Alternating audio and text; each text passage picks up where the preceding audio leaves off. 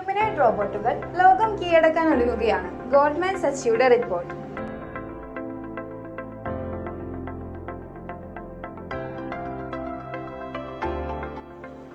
അടുത്ത പത്ത് വർഷത്തിനുള്ളിൽ നൂറ്റി എൺപത്തിനാല് ബില്യൺ ഡോളറുടെ റവന്യൂ ഈ മേഖലയിൽ നിന്നും ഉണ്ടാകുമെന്നാണ് ഗോൾഡ്മാൻ സച്ച് റിപ്പോർട്ട് ചെയ്തിരിക്കുന്നത്. ഇത് ഇലക്ട്രിക് വെഹിക്കിൾ മാർക്കറ്റിനേക്കാളും വളരെ കൂടുതലാണ്. ടെസ്ലയുടെ സിഇഒ ആയ എലോൺ മസ്കും കഴിഞ്ഞ ദിവസം ഇത് ചൂണ്ടിക്കാട്ടിയിരുന്നു. എലോൺ മസ്ക് പറഞ്ഞത് റോബോട്ടിക് ഇൻഡസ്ട്രി വളരെ വലിയ ഒരു കുതിപ്പിന് ഒരുങ്ങുകയാണ്. ഇത് ടെസ്ലയുടെ ഓട്ടോമൊബൈൽ ഇൻകത്തെക്കാളും ബിസിനസ്സിനേക്കാളും വളരെ വലുതാണ്. അതുകൊണ്ട് തന്നെ ടെസ്ല ഹ്യൂമനോയിഡ് റോബോട്ടുകളിൽ വളരെ വലിയ റിസർച്ചാണ് നടത്തിക്കൊണ്ടിരിക്കുന്നത്.